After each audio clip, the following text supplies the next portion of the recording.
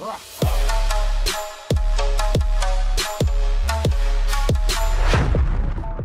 Bonjour et bienvenue à tous, on se retrouve aujourd'hui pour la présentation euh, d'Ecclasia Faction, donc la V6, oui c'est bien ça, version numéro 6 d'Ecclasia Faction qui est euh, pour moi une des versions les plus, euh, les plus différentes de ce que vous avez pu voir d'habitude, parce qu'on s'est basé donc sur la V5 qui a énormément plu, mais on a rajouté du coup tout ce que la communauté trouvait manquante sur le serveur, c'est-à-dire des events euh, qui n'étaient euh, pas forcément basés sur le PVP la version dernière, du farm et surtout des objectifs à accomplir.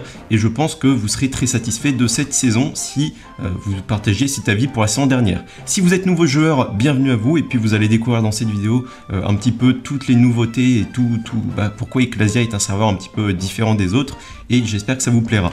Si la vidéo vous plaît, vous pouvez bien sûr vous abonner, lâcher un petit pouce bleu. Je vais faire beaucoup, beaucoup de vidéos dans les prochains jours, euh, prochaines semaines sur Ecclesia Faction. Donc n'hésitez pas, vous abonner, vous lâcher un petit pouce bleu si le serveur vous plaît et que vous voulez soutenir la chaîne. Et puis, euh, et puis on est parti, tout simplement. Donc là, on est au hub. Euh, je vous ferai un tutoriel un jour. Il faudra que j'en fasse un pour vraiment les débutants débutants. J'en vois beaucoup. Euh, certains trouveraient inutile de sortir une vidéo comme ça, mais il y en a beaucoup qui ne savent pas se register, se login sur un serveur, se connecter avec une IP parce qu'ils sont nouveaux sur Minecraft. Donc euh, je ferai une vidéo comme ça euh, dans, très peu de temps pour vraiment les débutants.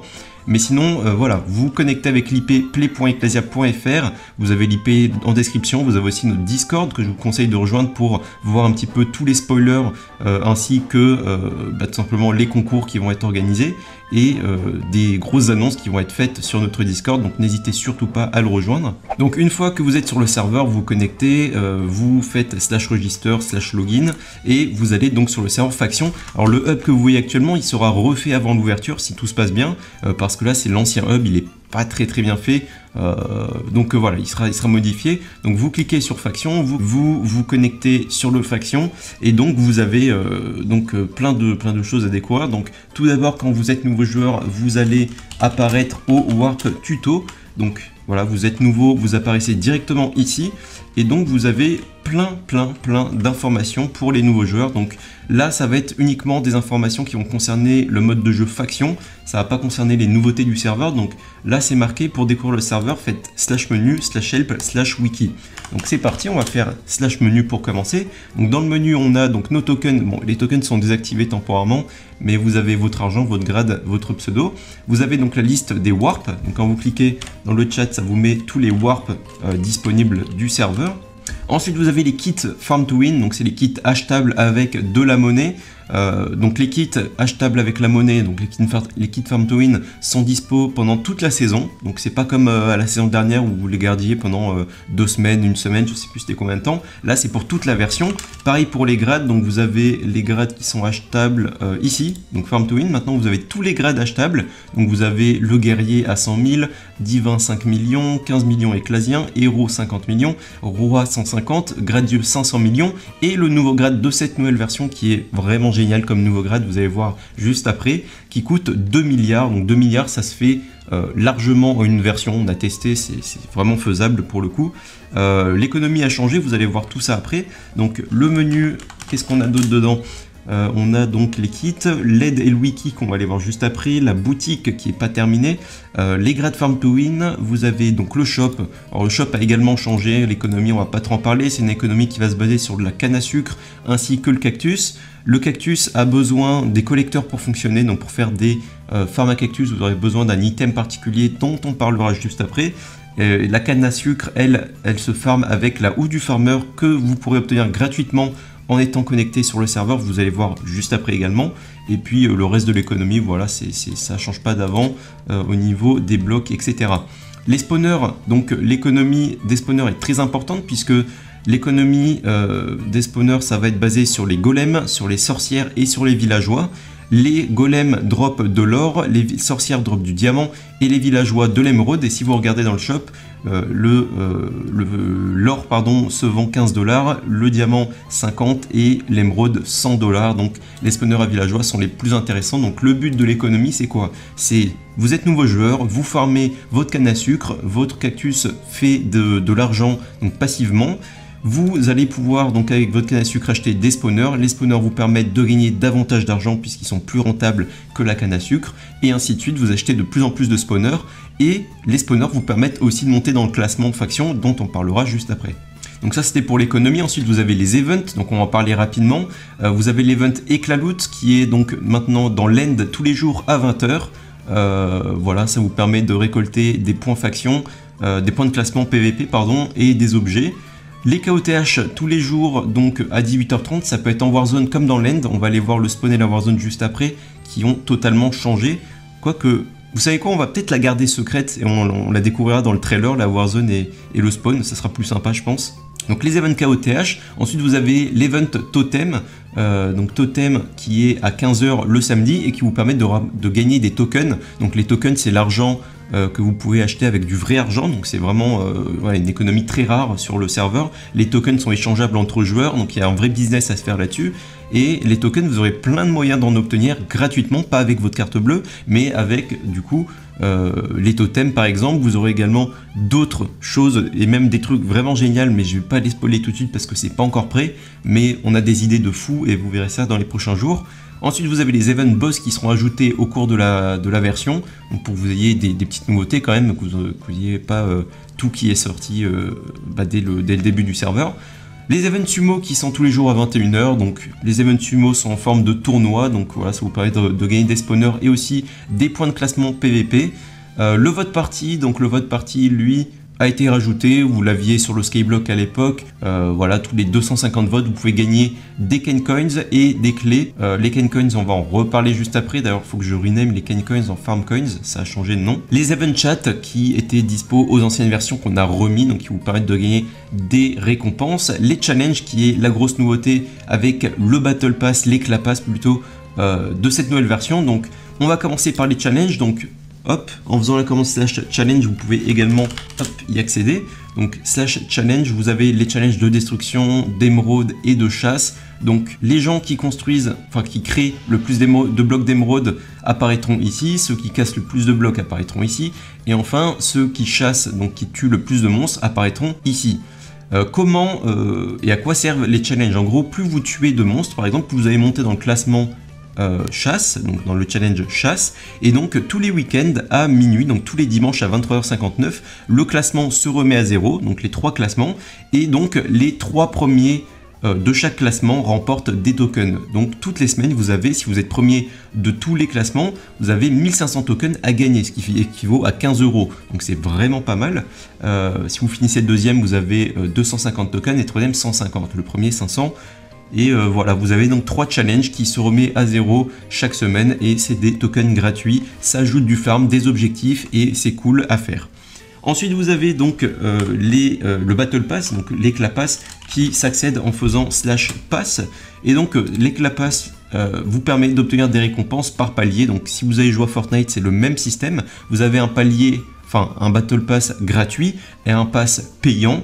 Le pass payant est farmable bien sûr avec donc des tokens que vous pouvez acheter aux autres joueurs mais aussi via de la monnaie. Donc la monnaie ça coûtera assez cher de d'avoir le pass en monnaie mais euh, c'est faisable et surtout les récompenses quand vous avez quand vous avez le pass premium donc le pass payant elles sont vraiment géniales, hein. vraiment c'est des très bonnes récompenses, vous avez beaucoup de farm coins, beaucoup de clés, beaucoup de monnaie, beaucoup d'enchantes, beaucoup euh, de spawners, vous avez énormément de choses, euh, des tags, des kits, euh, de l'argent, des spawners, vous avez vraiment beaucoup beaucoup de choses, je vous laisserai découvrir, hein. je ne peux pas vous montrer tous les paliers, mais il y a vraiment vraiment beaucoup de trucs, vous avez même la commande repair euh, donc voilà, vous avez de quoi faire. Euh, donc voilà, ça c'est pour le pass. Donc le pass payant et le pass gratuit. Donc moi j'ai le pass euh, gratuit, comme c'est marqué obtention, vous n'avez pas acheté le pass. Une fois que je l'aurai acheté, j'aurai accès donc à toutes les missions. chaque semaine, vous aurez des missions qui se débloqueront. Donc la semaine 1, vous aurez accès à toutes ces missions-là si vous avez le pass gratuit. Si vous avez le pass payant, vous aurez donc ces missions-là plus les premiums qui sont en dessous. pareil pour celle de la semaine 2 et puis ainsi de suite. Donc toutes les semaines, vous avez des nouvelles missions qui se débloquent. Vous avez également les missions journalières qui vous rapportent des pass points. Les missions euh, de la semaine également vous rapportent des passe points et les passe points sont augmentés sur les missions premium. Ces passe points vous permettent d'obtenir donc des paliers et petit à petit quand vous débloquez des paliers vous obtenez donc des récompenses en cliquant tout simplement sur le palier débloqué. J'espère que c'est clair, si c'est pas le cas, je referai une vidéo explication pour le l'éclapasse et puis vous verrez par vous-même, mais vous avez de quoi faire. Donc ça c'était pour le menu, ensuite le slash help, vous avez la taille de la map, donc 15 000 x 15 000, durabilité des blocs, vous avez donc 30 coups de TNT pour la pierre du néant, 15 pour l'obsidienne, ainsi de suite. Euh, les objets d'activer sont les pommes cheat, les Popo Force 2 et les potions d'invisibilité, comme la saison dernière, sauf que on a ajouté les pommes cheat pour un meilleur PVP. Les KB du serveur ont été refaits, ils sont beaucoup beaucoup mieux, en tout cas on les a testés, c'est vraiment plus sympa.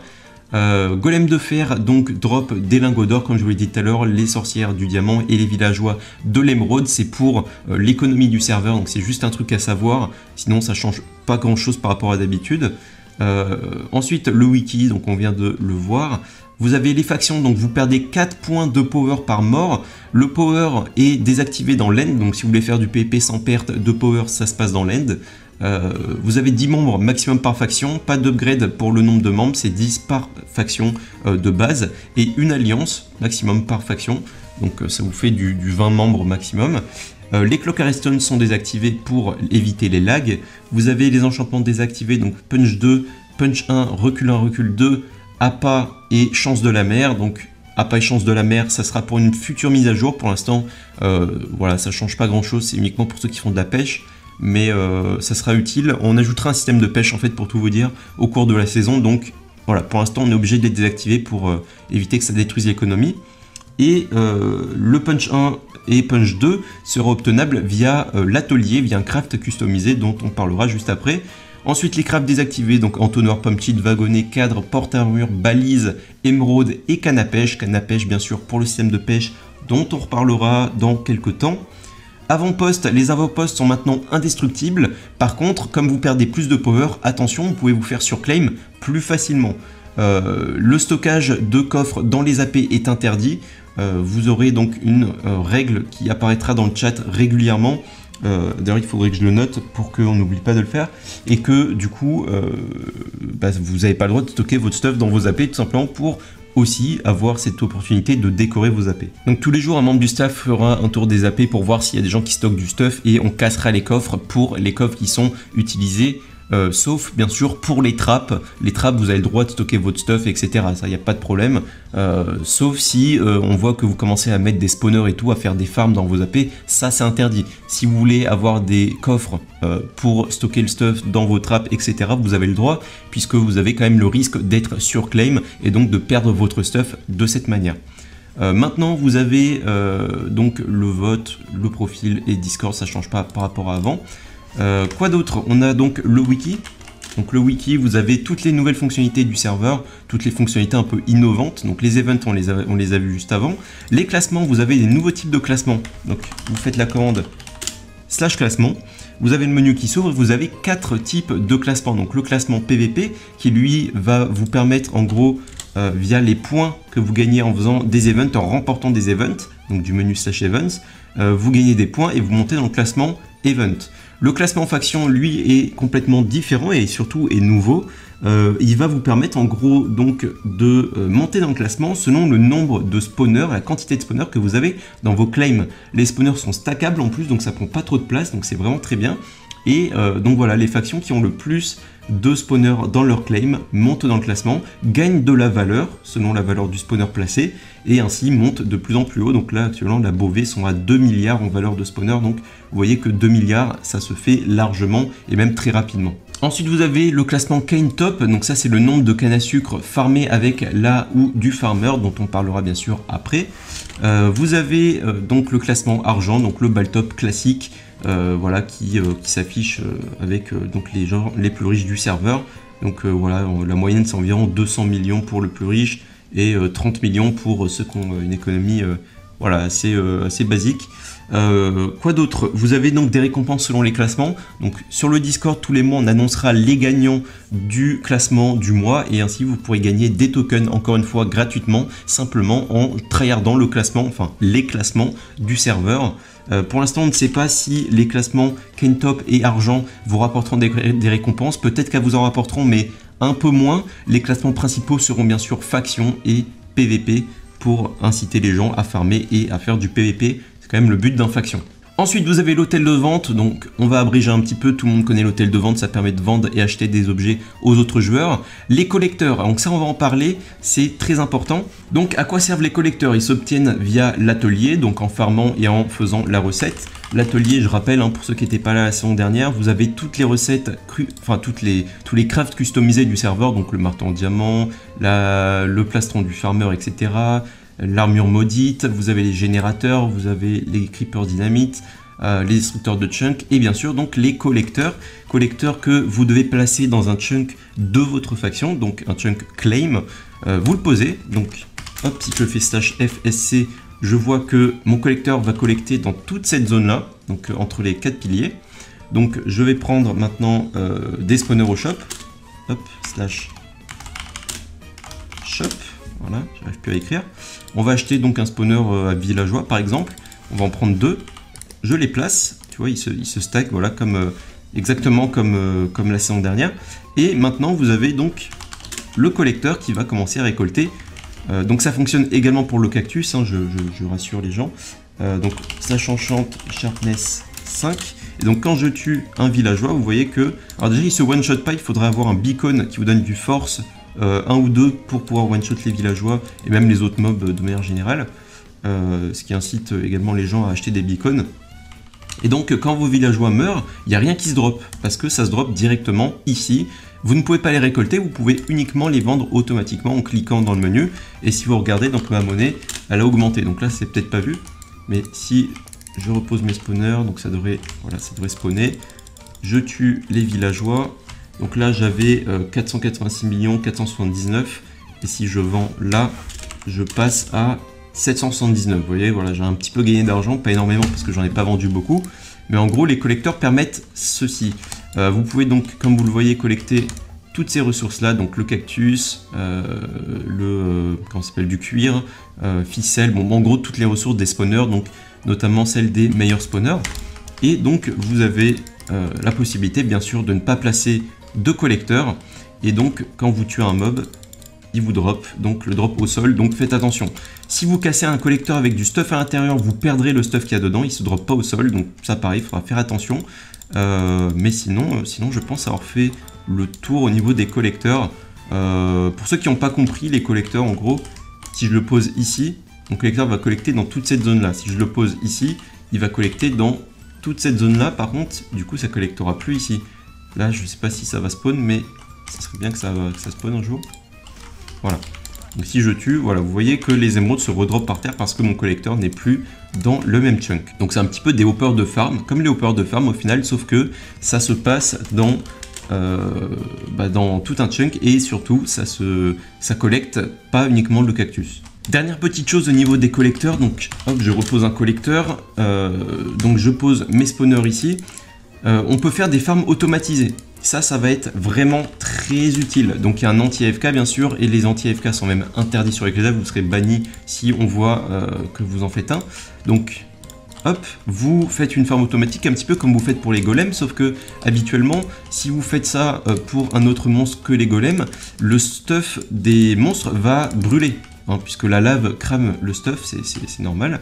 là, avec un collecteur, ça ne le brûlera pas puisque le collecteur va collecter euh, l'objet avant même qui touche la lave. Donc, si je fais une ferme automatique, par exemple, à villageois, donc toute bête, hein, vous avez juste à poser un saut de lave, déjà ça tue le stack entier euh, de villageois, mais surtout ça va euh, mettre, donc directement, vous voyez que j'ai récolté deux émeraudes, ça évite que les émeraudes se brûlent tout simplement, euh, avec, euh, avec la lave. Donc j'espère que vous avez compris, vous voyez à mon avis un petit peu de quoi je veux parler. Les farms habituelles sont pas possibles euh, avec des, sources de lave puisque le stuff brûle, mais là avec les collecteurs ça règle ce souci. Si vous n'avez pas compris au niveau des collecteurs, n'hésitez pas à poser vos questions. Il n'y a aucun problème, je, je, répondrai à tout le monde en commentaire. Ensuite, au niveau du wiki, donc on a la ou du farmer. Alors, la ou du farmer, on va en parler. Quand vous vous connectez sur le serveur pour la première fois, vous avez le kit starter, donc je vais me le give pour que vous voyez un petit peu ce que ça donne. Donc voilà, quand vous connectez, donc vous apparaissez ici dans le Warp Tuto, vous avez ce stuff là, donc pas d'armure, mais vous avez donc des steaks, une Underpearl, des popos rapidité pour avancer rapidement, et un kit starter donc avec efficacité 5 partout sur euh, vos trois outils. Vous avez également une houe du farmer. Alors à quoi va servir cette houe? Tout le monde connaît la hood du farmer, enfin la hood farm sur les serveurs faction farm to win habituellement, sauf que là ça va être complètement différent. Vous allez pouvoir farmer uniquement la canne à sucre qui est à l'intérieur de vos claims. Donc regardez, on va se give de la canne à sucre. Alors je suis pas sûr que ce soit uniquement dans les claims, on va voir ça tout de suite. Euh, sugar cane. Hop, donc je vais la placer voilà, juste à côté d'une source d'eau. Voilà. Et donc si je casse cette canne à sucre, vous voyez que ça ne la casse pas. Puisque, euh, bah, c'est pas claim. Donc je vais mettre dessus, slash claim. Et normalement, il faut que je crée une faction. Voilà, slash f claim. Normalement, si je casse la canne à sucre, je la récolte donc dans mon inventaire. Et ça me permet donc de faire euh, des bénéfices tout simplement en la revendant si je veux que ma houe soit utile. Euh, en fait, quand vous cassez deux de canne à sucre, donc vous gagnez des farm coins. Les farm coins, ils sont affichés sur le scoreboard là-haut et ils sont également affichés dans le petit menu qui est là. Donc c'est marqué euh, farm coins disponibles. Moi, j'en ai vraiment beaucoup parce que je m'en suis give. Mais regardez, là, j'en ai 488 723 115. Si je casse deux de hauteur, je passe à 116. En revanche, si je casse un seul de hauteur, je reste à 116 il faut bien que vous cassiez donc la canne à sucre au milieu. C'est fait exprès, c'est un système, euh, un peu compliqué, mais voilà, c'est fait exprès. Euh, vous cassez au milieu et vous gagnez donc un farm coins à chaque fois.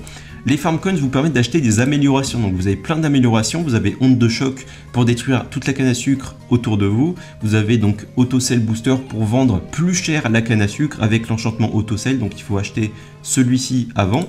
Donc regardez, si j'achète auto cell, hop, quand je casse ma canne à sucre, elle est vendue instantanément au shop pour donc 4,5 dollars. Donc c'est le prix du shop. Euh, si j'achète maintenant, hop, Auto Cell Booster, donc je vais l'acheter à fond. Si je casse, ça va me donner maintenant euh, plus d'argent, tout se passe bien. Voilà, ça m'a donné 27 dollars. Donc vous voyez que vraiment on peut gagner beaucoup d'argent avec une houe maxée euh, à fond. Euh, onde de choc, donc ça je pourrais pas vous montrer parce que j'ai pas une farm trop, assez grande pour vous montrer. Célérité, ça vous donne un effet célérité en cassant, donc ça permet de casser plus vite. Spawner drop, ça permet de gagner des spawners en cassant de la canne à sucre, donc c'est très très très fort, franchement euh, c'est une amélioration à avoir. Key drop, ça permet de drop des clés en cassant des cannes à sucre. Drop booster, ça permet donc d'obtenir plus de cannes à sucre. Donc drop booster combiné à auto cell booster, vous pouvez gagner vraiment beaucoup d'argent. Là regardez, on va en recasser deux on va voir combien on va gagner. Euh, et du coup, la dernière amélioration, donc on a encore gagné 27. Euh, ok, on n'a pas eu de chance apparemment. Mais euh, si on regarde du coup, la dernière amélioration, c'est Coin Booster. Donc vous gagnez plus de Farm Coins en cultivant la canne à sucre. Donc si on... Alors du coup, j'ai gagné 13,5 pour une, encore une fois. Je sais pas pourquoi, j'ai pas, pas beaucoup de chance sur le drop de canne à sucre. Mais du coup, si on casse 2 de hauteur, donc là, je suis à 123. Hop, je vais en replacer 2. Et je casse 2. Et là, on passe de 123 à 125. Donc je gagne bien plus de farm coins qu'avant. Puisque là, j'en ai gagné 2 au lieu de 1. Voilà, donc j'espère que vous avez compris un petit peu le système. Donc le système de farm d'Eclasa se base sur la canne à sucre pour les, pour les débutants. Vous gagnez de l'argent. Avec la canne à sucre, vous allez pouvoir acheter des spawners. Les spawners vous permettent donc de gagner plus d'argent puisque les diamants vous permettent de gagner beaucoup plus d'argent euh, que, la canne à sucre, ainsi que l'or et euh, l'émeraude, avec les spawners villageois, golem et sorcières. Et ainsi, avec ces spawners, vous allez pouvoir donc monter aussi dans le classement faction, puisque euh, se base sur le nombre de spawners que vous avez dans vos claims. Voilà, c'est tout pour là ou du farmer. Si vous avez des questions comme d'habitude en commentaire, n'hésitez pas. Les challenges, vous avez également les tokens donc pour acheter des choses dans la boutique. Vous avez les bottles XP donc pour mettre de l'XP en bouteille. Euh, les destructeurs de chunk, je ne vais pas vous montrer, c'est très connu, hein. vous placez, quoi que je vais peut-être vous montrer comme ça s'il y a des gens qui connaissent vraiment pas, vous saurez comment ça marche. Donc vous avez un destructeur de chunk euh, que vous pouvez obtenir donc dans l'atelier, dans la boutique. Ce destructeur de chunk, vous allez pouvoir le poser donc dans un claim, donc vous allez faire f claim, et quand vous le posez, ça vous confirme l'utilisation et vous allez détruire donc entièrement le chunk dans lequel il est posé. Donc ça prend un peu de temps pour éviter que le serveur lag quand vous en utilisez un. Mais en gros voilà, ça détruit entièrement le chunk et du coup si vous en avez 4, vous pouvez faire des bases vraiment super rapidement, même 9, vous pouvez faire des très grandes bases très vite. Pas besoin de creuser, vous gagnez un temps fou. Et avec les générateurs de base qu'on va parler juste après, euh, sont vraiment vraiment très très efficaces. Donc toujours dans le wiki, vous avez maintenant les euh, Unclaim Finder, donc eux ils permettent de détecter euh, des bases, donc c'est très très simple. On va retourner là où on était avant. Donc je vais prendre un coffre, euh, chest, voilà, on va le poser et on va se prendre un petit Unclaim Finder. Donc pareil, c'est obtenable dans le slash atelier. Vous avez un craft customisé pour l'Unclaim Finder. Donc pour l'instant, il n'est pas fait, mais vous pourrez donc le crafter. Et donc en fait, quand, quand vous utilisez votre Unclaim Finder, ça vous affiche un petit pourcentage au-dessus de votre barre d'inventaire. Je sais pas si vous voyez, ça met 1%. Et en fait, ce pourcentage correspond au nombre de coffres qu'il y a autour de vous, dans un rayon donc de 12 blocs. Si vous l'utilisez, là je suis à 0%, si je place mon coffre, je passe à 1%.